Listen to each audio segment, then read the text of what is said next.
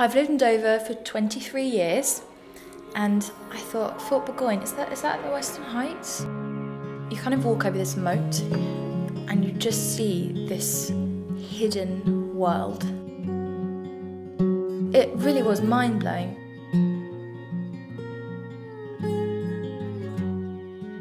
Fort Burgoyne lost its reason for being almost as soon as it was finished. It was built in 1866 as a fort to defend from inland attack, but with the changes in warfare at the time, it became obsolete by the time it was finished. It was never really used in anger.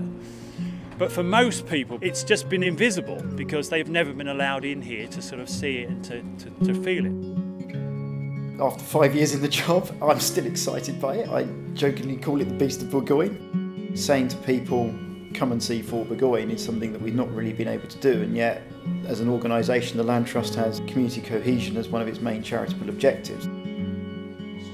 We were commissioned by the Land Trust to run a year of engagement under the Pioneering Places project to help them find a viable future for Fort Burgoyne. Yeah, the place is a scheduled ancient monument, but to keep it alive, it needs to find a new purpose. The fort's quite unique in the Pioneering Places project as a whole. It's one of the only spaces that is actually currently standing, so it's really about reimagining of what a physical, almost listed space could be. During the year, we unearthed a number of themes that kind of people were interested in craft, lost craft, and its connection with folklore. Waking the Giant, the potential of the fort, the potential of Dover, uh, but then literally about recreating a parade giant through the crafts that are going on here. It's a kind of culmination of our year of engagement under the Pioneering Places project. Today is really about the richness of the history of making giving people the opportunity to actually engage actively rather than passively just watching something. We've had the pottery here, we're doing loads of pottery workshops and um, we've been working on raku and building raku kilns.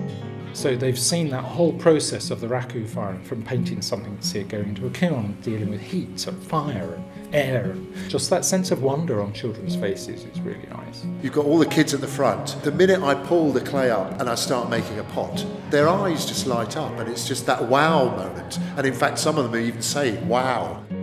What's come today is, is a taster of how a creative community might work here. Each chamber has a different craft in it and it's wonderful. It's really, really good. This is such a giant to wake up. It's so huge. And I think what they've done today is to give people the feel that it could actually really, really be used in the future. This place is almost ready-made to do crafts, to do metal work. I think you can have lots of creative businesses here. It's a great sort of ambience. Various events that could go on. That amazing parade ground is just made for markets, happenings, performances we brought all of our makers and had a market so we could showcase the sort of future of what could happen up here. So it's been really exciting just testing those out. So as well as looking at activities that you could do and people can enjoy workshops, but in actual fact they can make businesses from that. It's laden with potential, at this site, and I think today has really, really proved that. The turnout we had to queue for ages to get in because there were so many people. The rooms were filled, you kind of had to shuffle around, and it was great. 600 people have done guided tours around here, which is pretty much the amount we do in a year, in a day. Just by the sheer numbers coming through the gates, it's so obvious that this kind of event is really, really important for somewhere like Dover. We've taken people's postcodes, and overall, it's local people when you're in this building today that's activated by the people who live in this area, they have breathed life literally into this building. I think this is a really important new resource to give Dover something proper, grassroots, hands-on. Everybody's left buzzing. They've all had a go at making something. I can't think of a better start for this place in its journey of reinvention.